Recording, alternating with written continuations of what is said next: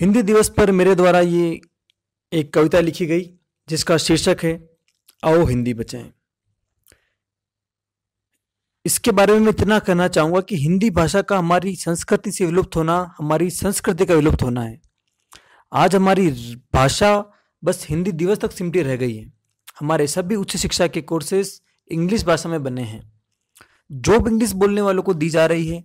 हिंदी बोलने वालों को ग्रामीण और अनपढ़ा लिखा कहा जा रहा है। ऐसे में हिंदू विद्यार्थी, हिंदू राष्ट्र का एक सजग नागरिक होने के नाते राष्ट्र को आग्रह करती हुई मेरी ये कविता।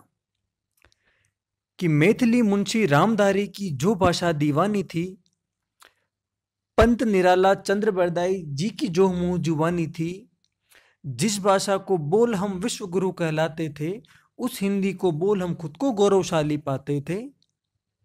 यह केवल भाषा नहीं, अभिमान है हिंदुस्तान का। अब समय आया है, भाषा का कलयुग आया है। चुनौती देते हमें भारत माँ, बचा लो मेरे अभिमान को। माँ ने सपना देखा, पूरा विश्व हिंदी मय हो।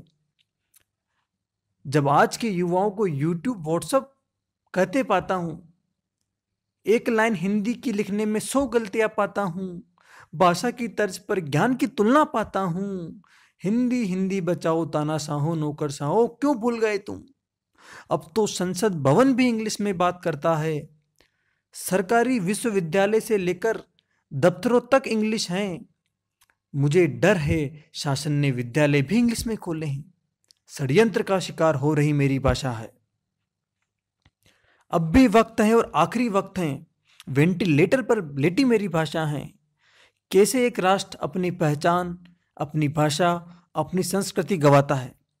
हर बार हम लोग हिंदी दिवस मनाते, उसमें संबोधन इंग्लिश में करते। आज मैं बस इतना करना चाहूँगा, हम आज़ाद हुए लेकिन मेरी भाषा अभी भी गुलाम है। मेरी भाषा को आज़ाद करो, मेरी संस्कृति को आज़ाद करो, मेरी हिंदी को आज़ाद करो। जय हिंद, जय भारत।